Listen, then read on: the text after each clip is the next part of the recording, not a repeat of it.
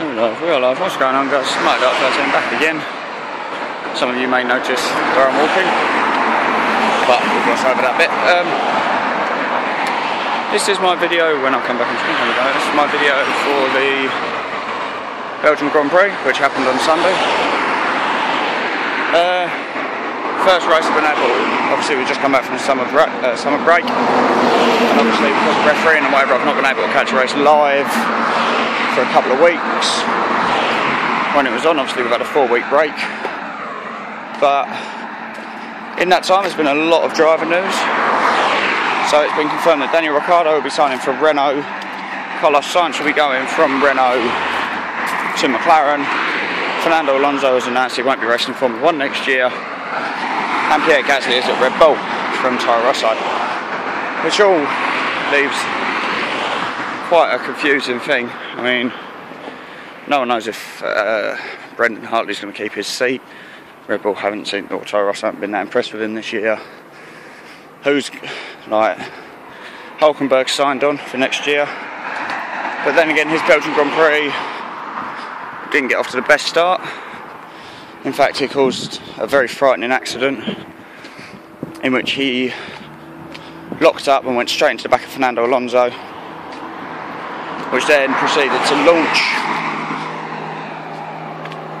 Alonso's car up over Charles Leclerc.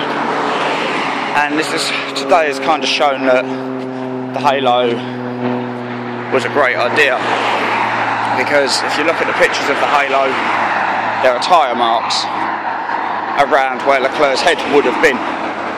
So I think in some ways this ends the argument of halos yes, they're not the prettiest things to look at, although most teams have actually worked very hard to make them sort of blend in quite well. But they save lives. I mean, Leclerc, the way Alonso's car went over his, quite possibly we could have had a death, another driver death. But he, thankfully, he didn't. Um, so obviously that was the first corner, and your race winner was Sebastian Vettel with Lewis Hamilton second. I mean, Lewis got jumped off the start and Vettel just pulled away. Then we obviously pit stops came and Lewis was behind him, but then Vettel pulled away again. Now, of course, you had the Force India, who, as I mentioned in my last video, I believe, went into administration, have been bought out by Lawrence Stroll, which basically means Esteban, Esteban Ocon is looking nervously over his shoulder because fundamentally it could be a case of he gets booted out of his seat for Lance Stroll. But in a wet qualifying, having like Lewis Hamilton on pole, Vettel second, but then rather fantastically had both Force, India, India's eh, Force India's third and fourth. Obviously I finished I think it was fifth and sixth in the race, but fantastic for them. Obviously, docked all their championship points on the constructors anyway, because they are strictly speaking a new team entry. But they instantly went back above Williams and are only a point down on Sauber. So well done to them. Overall, though, there was some great overtaking from the lower down guys, so like the Haas and whatever. But obviously, I'm glad Charles Leclerc's okay, and to be honest, this has ended the Halo debate now. It saves lives, it saved Leclerc. Yes, it was a bit of an eyesore, but I think everyone's got used to him now. Know, it looks actually looked pretty okay. But, oh, sorry for a brief jump cut, I had to walk across the road. Uh, that's my drive for the day. I'd actually say Valtteri Bottas. He started from 17th, I believe it was.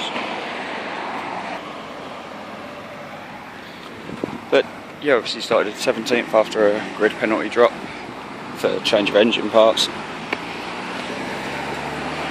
And overall, he did well to get up to fourth place. I was quite impressed. But of course, the Merc just easily just sort of blitzed past cars. But then again, obviously, we go to Monza this weekend, which is obviously Ferrari's home Grand Prix, so be kind of could be hoping to pull one over. But issue being now is I think Ferrari is better in a straight line than a Mercedes, and Monza is basically all straights with a few heavy braking zones. So as such, I'm going to go for, in qualifying, I'm going to go Vettel P1, Raikkonen P2, Lewis third, Bottas fourth, Ricciardo fifth. As for the race, I'm going to go Vettel P1, Raikkonen P2, and Ricciardo third with Hamilton fourth. But overall, I'd rate the Belgian Grand Prix a solid 7 or 8 out of 10. There were some great overtaking manoeuvres. Had a bit of everything. Obviously, no rain, but obviously a, a feel good story for the Force India as well. So, anyway, guys, I'm going to leave this video here. Uh, thanks for watching. Don't forget to like, subscribe, and share. And yeah, I'll see you in the next one.